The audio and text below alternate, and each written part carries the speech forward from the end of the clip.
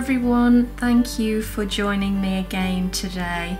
Um, we're going to do some Brusho backgrounds today. I just wanted to show you um, a different way of creating wonderful backgrounds using the Brushos but in their sort of dry state and then spritz with water.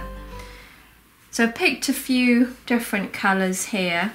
I would only ever sort of recommend two, three colours really. Um, you know, if we start putting on four or five colours, it can go a little bit muddy, a bit brown.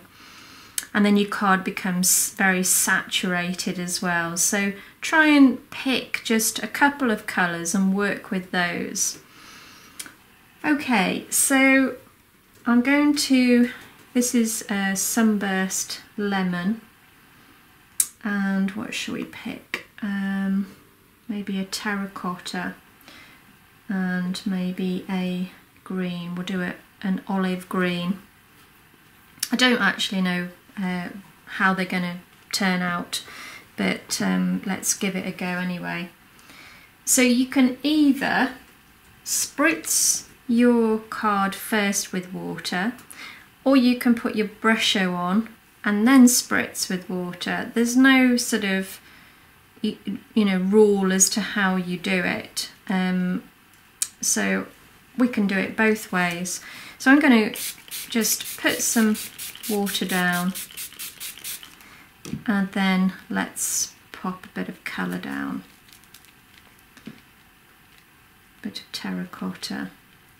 And you can see it's like they're like explosions of colour, like um, like fireworks. It's quite incredible actually. Okay, so now I'm going to just carry on spritzing with water and just simply move the card about.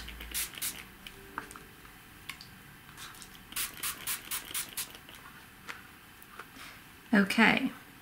So I would now just leave that to the side for it to dry and then go back to it obviously uh, to stamp onto. So if you create your backgrounds first, if you create a number of different backgrounds and then the following day you can then use those to stamp onto. So um, that, that's one example anyway. Let's do some other ones.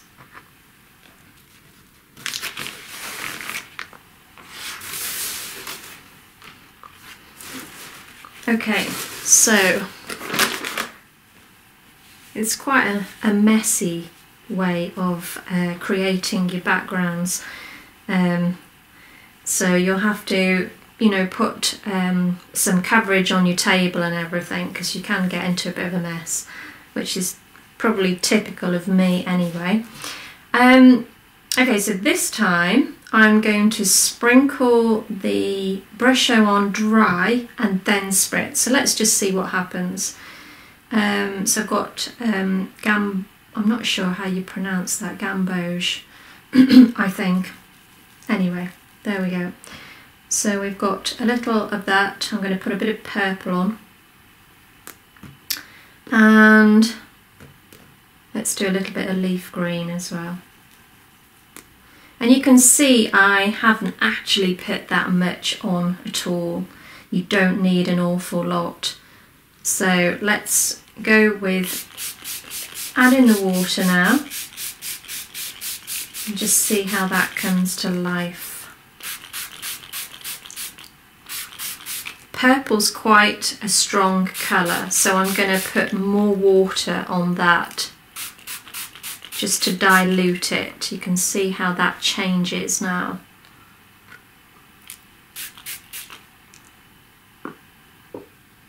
Okay, so I wouldn't say it's that much different to be honest whether you put the dry on first or the water on first. So again, just leave that to dry. Don't worry about these white areas if you miss anywhere. We can then use a smoothie Okay, when this is dry we use a smoothie and we just cover those areas in a different colour. So as I say, don't worry about that.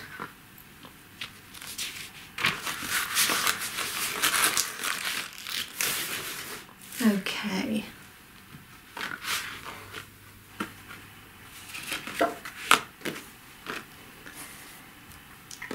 So let's have a look at what other colours we've got. I love this one. This is ultramarine. Doesn't need an awful lot of anything else, to be honest. Um, it's got so many other colours in it. I'll show you now. Look at that, that's quite an amazing blue. It's sort of got purple in there as well. I do think it works quite nice with yellow. So I'm just going to pop a little bit of that down and just spritz with that. Kind of gives us a bit of a blue-green. But you can see the amazing backgrounds it can give you. Just by moving it around let it just sort of drip off. And as I say if the colour's really strong just spritz a little bit more water onto it you do need a really good quality card though. Um, I'm using the 330 uh, GSM multifarious which takes quite a lot of water. Um, and I think that's that's quite important because if you use a thinner card it can go quite translucent. Um, so yeah a good a good thick quality card is is is good okay so let's have a look at what else we've got. What other colours? Let's try um, yellow ochre and let's have a blue in there as well. See what this comes out like. That's quite nice and you know you don't have to um, you know you don't have to move that around you could leave it like that just experiment um, have a bit of fun with it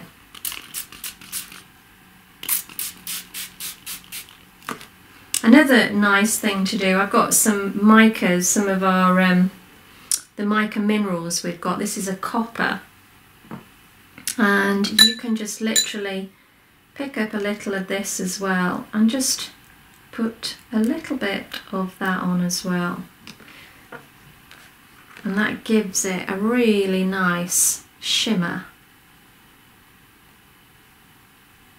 Uh, I'm hoping you can kind of see that under the camera. It's quite a nice effect that. I quite like the micas mixed in with the Brusho. So again, let's see what that dries like. And you can see how quick and how easy it is to create these backgrounds. So you can, you can do quite a few of them. You know, just sit there for half an hour, create your backgrounds let them dry and then you've got your background ready to stamp onto. So I hope that's sort of helpful in some way and um, I'm going to let those dry and I'm going to be stamping on them later. Okay, thanks guys, bye for now.